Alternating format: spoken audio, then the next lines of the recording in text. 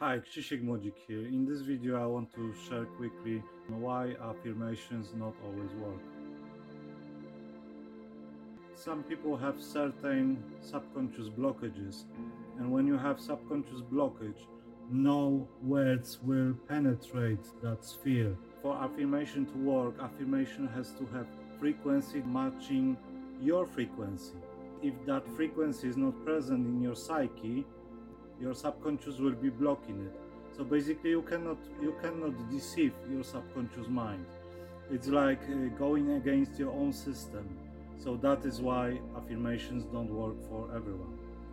If you want me to ebola if you want me to elaborate more on this topic let me know in the comments and i will make another video on this. Cheers. Have a lovely day